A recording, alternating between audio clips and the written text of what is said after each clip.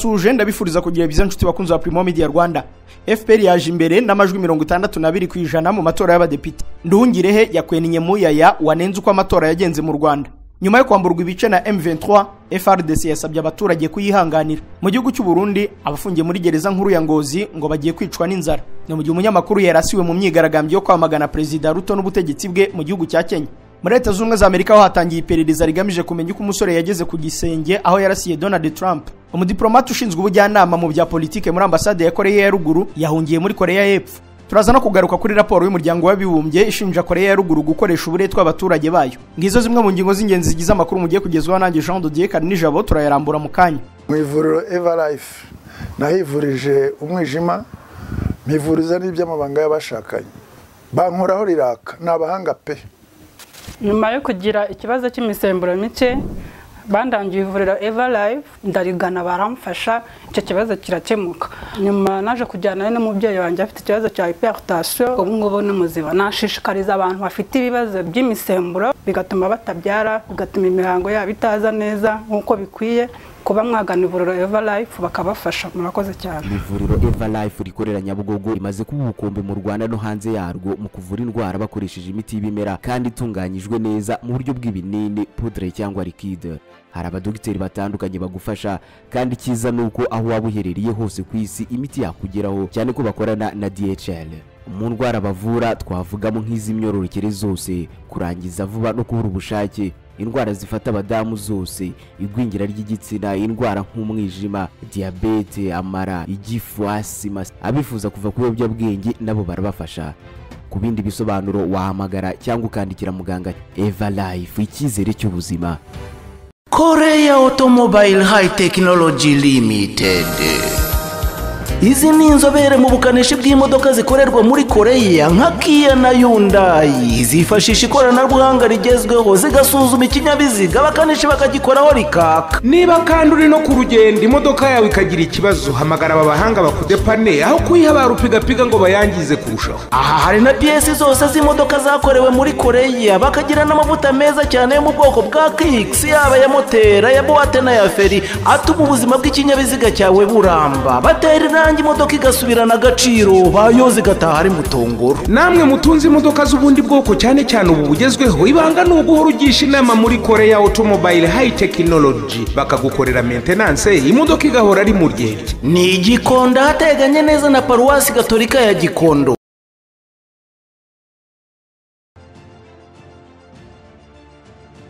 Ikaze muri aya makuru ku buryo burambuye duhereye kuri ivuga ko FPR yaje imbere na mirongo itandatu na kabiri ku ijana mu matora y'abadepite mu majwi amaze kubarurwa. Komisiyo y'amatora mu rwanda yatangaje iby'ibanze byavuye mu matora y'abadepite mirongo itanu na batatu bigaragaza ko ishyaka FPR inkotanyi n'andi mashyaka bafatanyije baje imbere n'amajwi mirongo itandatu n'abiri n'ibice bitandatu ku ijana. FPR inkotanyi ifatanyije n'amashyaka atanu ariyo PDC, PPC, PCR, PSP na UDPR aba badepite mirongo itanu na batatu ni abatowe babangikanye n'amatora ya perezida yabaye kuwa mbere mu gihugu no ku cyumweru ku banyarwanda baba mu mahanga. Ishyaka pl ni ryo ryaje ku mwanya wa kabiri muri ibi byatangajwe by'ibanze rigira amajwi icumi n'ibice icyenda ku ijana psd iza ku mwanya wa gatatu n'amajwi icyenda n'ibice bine ku ijana. Ku mwanya wa kane yaje ishyaka pdi ryagize amajwi atanu n'ibice umunani rikurikirwa na democratic green party yagize amajwi atanu n'ibice bitatu. Naho ishyaka ps imberakuri ryabonye amajwi atanu n'ibice bibiri. Janvier Nsengiyumva umukandida umwe wiyamamaje ku giti cye ku mwanya wa depite ni we wa nyuma n'amajwi zeru n'ibice bitanu ku ijana. Ibyavuye mu matora yabaye kuwa kabiri y'abadepite makumyabiri na barindwi bo guhagararira ibyiciro byihariye byo ntibiratangazwa.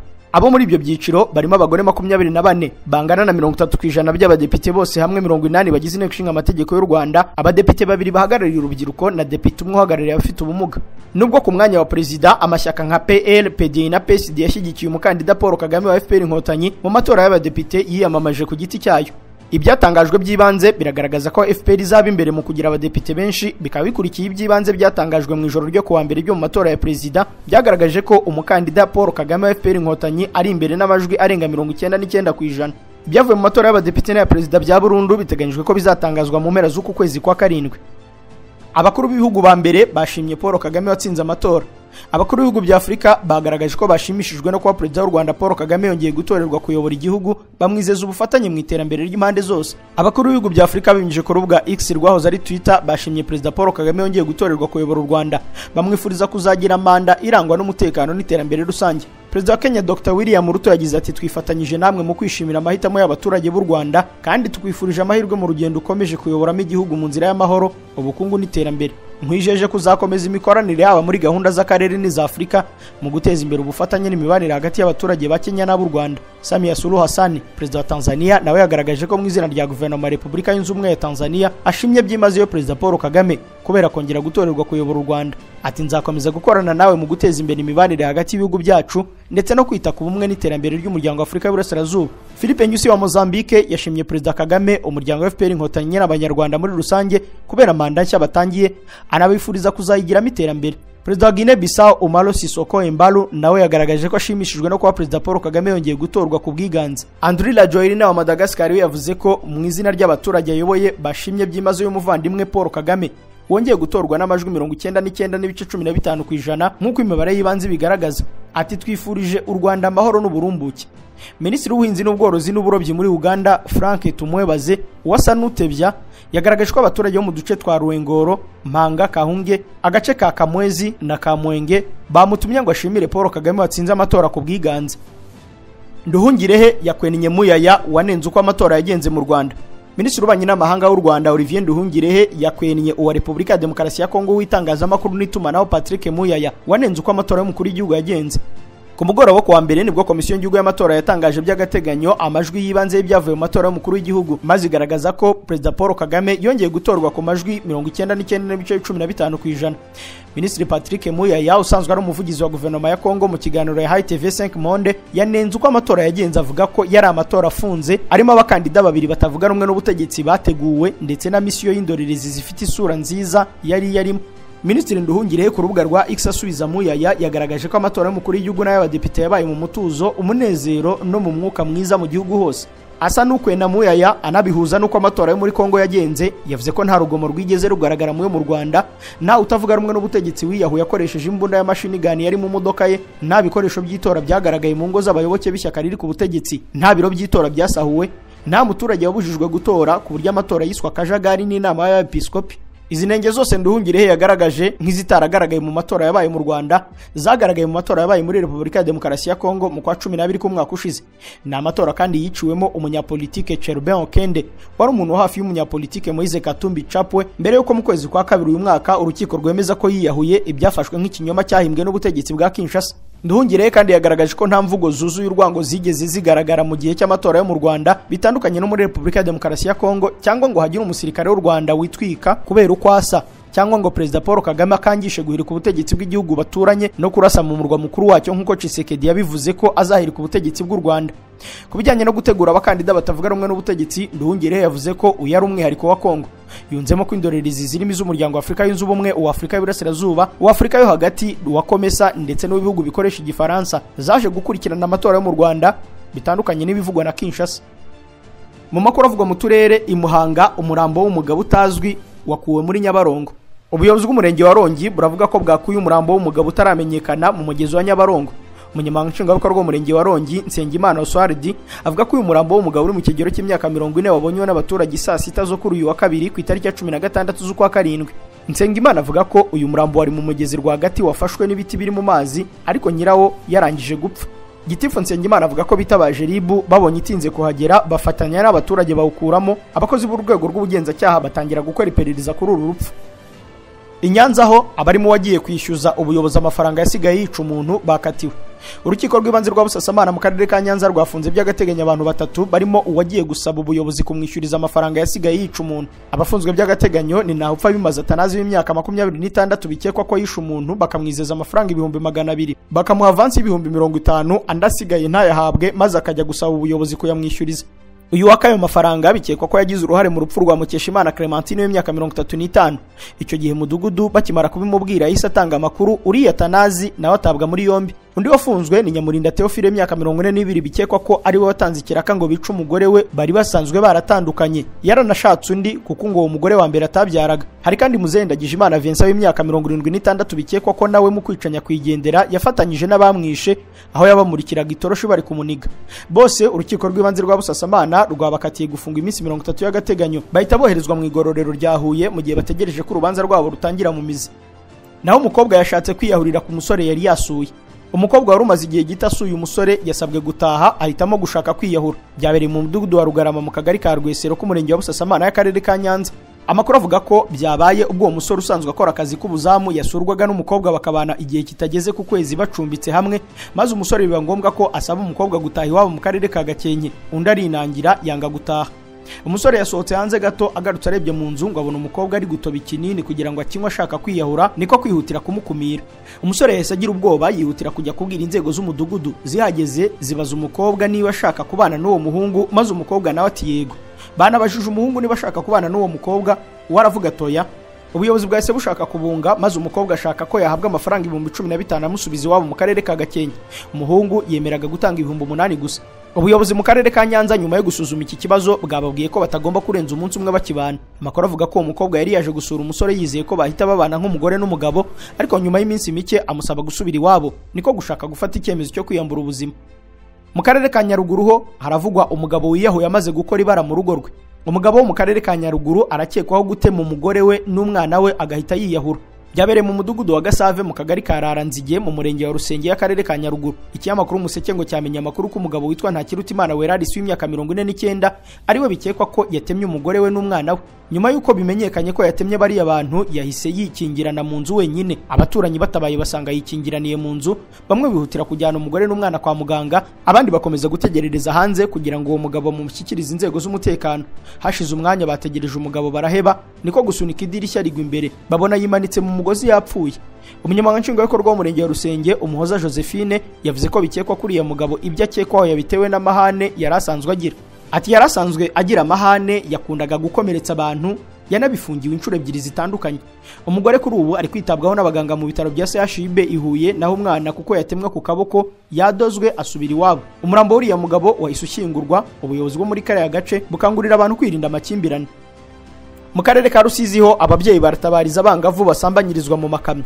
Ababyeyi bo mu karere ka rusizi baravuga ko batewe impungenge n'ubusambanyi abashoferi b'amakamyo bakorera abangavu bagasaba ubuyobozi guhagurukira iki kibazo. Abaganiriye n'ikinyamakuru igihe ni abatuye n'abacururiza mu bugarama ahazwi nko muri site aho aya makamyo aparika ategereje ko abashinzwe abinjira n'abasohoka ku mupaka wa kamanyora bayaha uburenganzira bwo gukomeza urugendo. Rusizi ni akarere gafite umwihariko wo gukora ku bihugu bibiri by'abaturanyi repubulika demokarasi ya kongo n'uburundi. Bituma hahora urujya n'uruza rw'amakamyo atwara ibicuruzwa bivana cyangwa bijyana muri afurika y'uburasirazuba.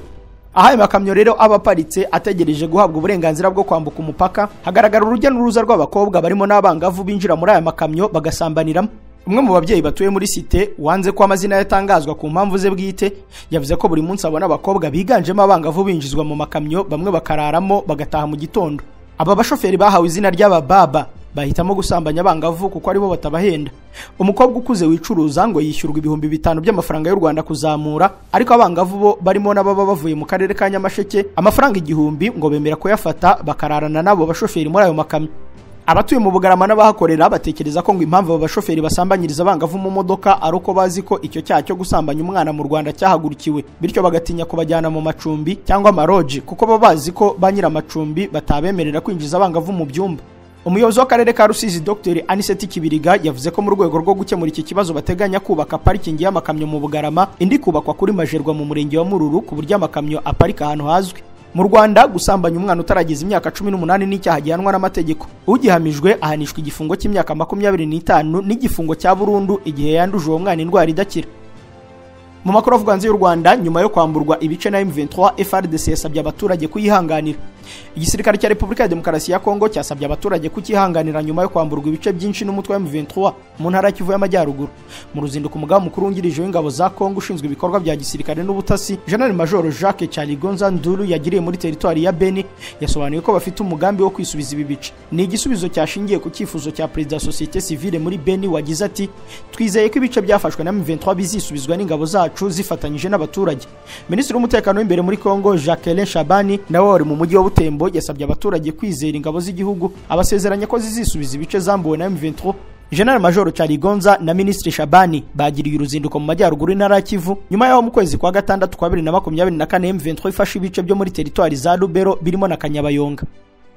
Mu gihugu cy'u Burundi abafungiye muri gereza nkuru ya Ngozi ngo bagiye kwicwa n'inzara. Abafungwa bafungiye muri gereza nkuru ya ngozi barataka inzara nyuma y'iminsi igera kuri makumyabiri n'itanu nta biryo bibarizwa muri iyi gereza. Aho kugeza ubu usanga buri muntu arya amagarama magana atatu gusa y'ibishyimbo ku munsi. Abenshi mu bafungiye muri iyi gereza ntibafite imiryango ishobora kubagemurira ibyo kurya muri iki gihe aho usanga bafite intege nke cyane kubera inzara ndetse bakaba bamwe bashobora no kuhasiga ubuzima. Abafunzwe bavuga ko batigeze bamenyeshwa impamvu zateye ibura ry'ifunguro ry'ibigori bagasaba minisiteri ishinzwe imfungwa kubakemurira ikibazo kuko nabo ngo ari abantu nk'abandi. Aba bagororwa kandi barasaba abagira neza kubafasha babaha imfashanyo y'ibiribwa. Maître Gustave Niyonzima uharanira uburenganzira bwa muntu mu Burundi avuga ko kwima abagororwa ibyo kurya ari uguhohotera imfungwa. Ndetse ngo ni no kubura ubumuntu ku ruhande rw'abashinzwe gereza. Yavuze kandi ko imfungwa n'abagororwa bafite uburenganzira bwo kurya hakurikijwe itegeko rya bibiri na cumi na karindwi ryerekeye ubutegetsi bwa gereza n'imikorere yayo. Gustave Niyonzima yahamagariye leta gukora iperereza ryimbitse kuri iki kibazo kugira ngo barokore ubuzima bw'imfungwa kuri ubu buri mu kaga.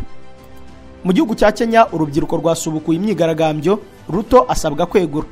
Hari hashize ibyumweru bibiri Kenya isa nk'iri mu gahenge nyuma y'uko urubyiruko rugabanyije imyigaragambyo rwakoraga imaze guhitana abarenga mirongo ine. Ibyatumye perezida William Ruto asesa guverinoma mu rwego rwo kwerekana ko yumvise amajwi y'urubyiruko gusa ibi byari ukwibeshya kuko imyigaragambyo yongeye gukaza umurego. Kuri uyu wa gatatu ibihumbi by'urubyiruko byiraye mu mihanda bisaba ko perezida Ruto agomba gukomeza gukora impinduka muri guverinoma kandi ntizigarukire gusa mu kwirukana ba minisitiri ahubwo zigakomeza zikagera ku kwirukana ba guverineri n'abayobozi b'inzego z'ibanze ahanini bashinjwa kwimakaza ruswa.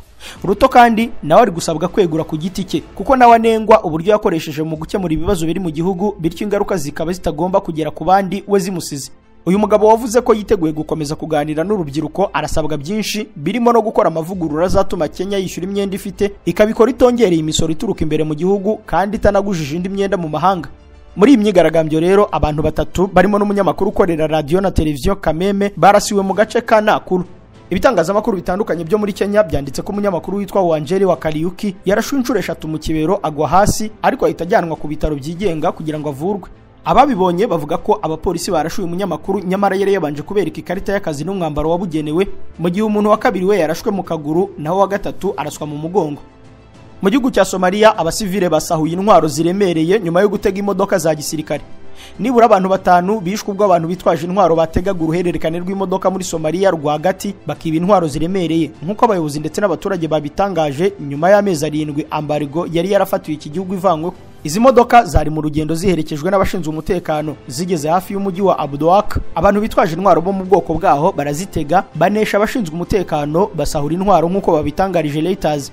Bavuze ko intwaro zirimo imbunda za mashinigani intwaro zirasa indege n'imbunda zirasa grenade zari ziturutse muri etiyopiya bituranye ari zo zasahuwe Ahmed Shaya umujyanama mu by'umutekano wa perezida wa leta ya Garmudug yagize ati birababaje kubona abantu batanu bapfuye ku mpande zombi kubera kwiba intwaro. Inzitizi zo kugura intwaro zari zarashyizweho mu buryo runaka mu myaka irenga mirongo itatu ishize zavanyweho burundu n'akanama k'umuryango w'abimbye gashinzwe umutekano. Guverinoma ya somaliya yavuze ko iki cyemezo kizayemerera guhangana n'ibibazo by'umutekano muke no kubaka ingabo z'igihugu. Perezida museveni we yihanganishije donald trump uherutse kuraswa. Perezida wa uganda yoweri kaguta museveni yihanganishije donald trump uherutse kurasirwa muri leta ya pennsylvania muri amerika ubwo yari mu bikorwa byo kwiyamamariza kongera kuyobora igihugu. Anavuga ko ibikorwa by'iraswa rye ari iby'ubugwari. Mu butumwa yanditse kuri x museveni yavuze ko n'abanya-uganda bari kumusengera we n'umuryango we n'undi muntu wiciwe muri ibyo bikorwa. Ati numvise iby'igitero cyagabwe ku buzima bwa trump ku wa gatandatu tariki ya cumi na gatatu nyakanga bibiri na makumyabiri na kane. Mu izina rya guverinoma n'abaturage ba uganda ndetse no mu izina ryanjye ndifuza kugaragaza akababaro twatewe n'ibyabaye kuri nyiricyubahiro donald trump. Perezida wa uganda yoweri kaguta museveni yatangaje kandi ko ibyo kurasa trump ari igikorwa giteye ubwoba ndetse cy'ubugwari bityo ko gikwiye kwamaganwa kuko gishyira mu kaga ubuzima bwa trump n'ubw'abamushyigikiye hagati aho muri leta z'ubumwe za amerika hatangiye iperereza rigamije kumenya uko umusore yageze ku gisenge aho yarasiye trump. Inzego z'iperereza ziri mu iperereza rigamije kumenya uko uwo musore warashe trump ku wa gatandatu yaba yarabashije kugera ku gisenge cy'inzu yarasiyeho mu gihe polisi yari iri muri izo nzu no hanze yazo. Ubu ikibazo ni ukumenya niba icyemezo cyo kureka polisi ngo irinde aho hantu cyari gikwiriye. Mu gihe iyo nzu yari ahantu umuntu yashoboraga kurasa agahamya abantu bari aho trump yatangiraga imbwirwaruhame. Thomas matthew crooks w'imyaka makumyabiri yabashije kuzamuka n'imbunda. Ajya ku gisenge cy'iyo nzu kuri metero ijana na mirongo ine uvuye aho trump yari ahagaze arasa amasasu umunani mu bantu. Rimwe muri yo ryakomerekeje trump ku gutwi kw'iburyo mu gihe irindi ryahitanye bamwe mu bari muri mitingi ye abandi babiri barakomereka bikomeye. Alejandro mariokas uyobora inzego zirimo urwa secret service rw'abarinda abaperezida n'abahoze ari abaperezida. Yatangaje ko iperereza ryigenga kuri iki kibazo rikozwe n'abantu bo hanze ya leta rizatangwa vuba ndetse ashinja inzego z'umutekano kunanirwa inshingano zazo. Naho umudiplomate wa koreya ya ruguru yahungiye muri koreya y'epfo. Byamenyekanye ko umudiplomate ushinzwe ubujyanama mu bya politike muri ambasade ya koreya ya ruguru muri kiba rikyu yahungiye muri koreya y'epfo mu kwezi kwa cumi na kumwe k'umwaka ushize. Aya makuru yemejwe n'urwego rw'ubutasi rwa koreya y'epfo. Nk'uko ibitangazamakuru byo muri iki gihugu byabitangaje. Koreya y'epfo yakira abantu benshi bahunga ubutegetsi bw'igitugu bwa koreya ya ruguru. Ibiro ntaramakuru associated press by'abanyamerika byatangaje ko kuva mu myaka y'igihumbi magana cyenda mirongo icyenda hamaze guhunga abantu barenga ibihumbi mirongo itatu na bine. Yun suk yol perezida wa koreya y'epfo aherutse gusezeranya abanyakoreya ya ruguru bashaka guhungira mu gihugu cyabo ko bazakiranwa urugwiro bagahabwa ubufasha bwose bakeneye. Umudiplomate Ri w'imyaka mirongo itanu n'ibiri y'amavuko avuga ko impamvu yamuteye guhunga ari ubutegetsi bw'igihugu cyabo yabonaga ko nta hazaza heza bugifitiye. Undi muyobozi ukomeye wa koreya ya ruguru uheruka guhunga ni taye yong ho wabaye ambasaderi wungirije wa koreya ya ruguru mu bwongereza we yahunze mu bibiri na cumi na gatandatu. Naho abantu batandatu basanzwe muri hoteli bapfuye. Abantu batandatu bafite ubwenegihugu bwa vietnam bapfiriye muri hoteli yo mu mujyi wa thailand bangkok nk'uko polisi y'icyo gihugu ibitangaza. Bamwe mu bapfuye bafite ubwenegihugu bwa vietnam na amerika nk'uko guverinoma ibivuga. Ibinyamakuru byo muri iki gihugu biravuga ko mu mujyi wa bangkok muri hoteli y'inyenyeri eshanu ariho hagaragaye iyo mirambo. Hari habanje gutangazwa ko habayeho iraswa muri iyo hoteli gusa andi makuru aravuga ko habayeho gushyira uburozi mu biribwa nubwo bitaremezwa na leta. Minisitiri w'intebe wa thailand seleta tavsin yageze ahabereye ibyo ategeka ko hakorwa iperereza ryimbitse. Yagize ati ntidushaka ko iki kibazo gisiga icyasha igihugu cyacu n'ubukerarugendo bwacu. Minisitiri w'intebe yavuze ko polisi iza kwemeza niba koko baba barashwe cyangwa hari ibyo baba bagaburiwe mu masaha makumyabiri n'ane yashize. Amakuru aravuga ko impamvu bikekwa ko baba barozwe ari uko muri iyo hoteli hasanzwe ibikombe by'icyayi n'ikawa hafi y'aho iyo mirambo yari iri. Naho raporo ya loni irashinja koreya ya ruguru gukoresha uburetwa abaturage bayo. Ibiro by'umuryango w'abibumbye byita ku burenganzira bwa muntu muri raporo byashyize hanze byashinje koreya ya ruguru gukoresha abantu ku gahato kandi mu mategeko mpuzamahanga gukoresha uburetwa bishobora kuba icyaha kibasira inyoko muntu cyitwa ubucakara. Komiseri w'uburenganzira bwa muntu umuryango w'abibumbye voka turk yavuze ko ubuhamya buri muri iyi raporo buteye inkeke kandi buhishura byinshi ku byerekeye akababaro abantu bo muri iki gihugu bafite gaturuka ku ihohoterwa bakorerwa no gufatwa bunyamaswa. Volker Turk avuga ko abantu bahatirwa gukora mu buryo butakwihanganirwa kandi mu bintu bishyira ubuzima bwabo mu kaga nk'uko ijwi rya Amerika ryabitangaje. Akomeza avuga ko abaturage muri iki gihugu bahozwaho ijisho bagakubitwa kenshi mu gihe abagore bakorerwa ihohoterwa rishingiye ku gitsina. Ni raporo bivugwa ko yakozwe hifashishijwe amasoko atandukanye arimo abantu bagera ku ijana na mirongo inani na batatu babajijwe hagati ya bibiri na cumi na gatanu na bibiri na makumyabiri na gatatu. Barimo bakoreshwaga ku gahato cyangwa babibonye bashoboye gutoroka ubu bakaba batuye mu mahanga.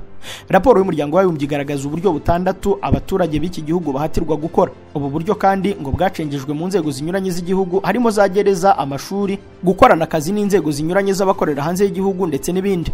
Igituma izi raporo z'umuryango w'abibumbye cyakora zitavugwaho rumwe ni ukuntu igihugu cya koreya ya ruguru kimaze imyaka n'imyaka mu bihano mpuzamahanga kibasha gukomeza kubaho kandi kigatera imbere kugeza ku rwego rwo gukora ibisasu kirimbuzi bikangaranya isi yose kandi berekana ko kiri mu bihugu bya mbere bikennye ku isi kurusha ibindi. Inshuti bakunze ba Primo Media Rwanda iyi raporo y'impuguke z'umuryango w'abibumbye kuri Korea ya ruguru niyo dusoreje amakuru ari kugarukwaho. Reka mbashimire ko mwari muyakurikiye ngendo Jean Dodier Kanijabo ndabararikira gukomeza kureba ibindi biganiro biri kuri uru rubuga. Bye.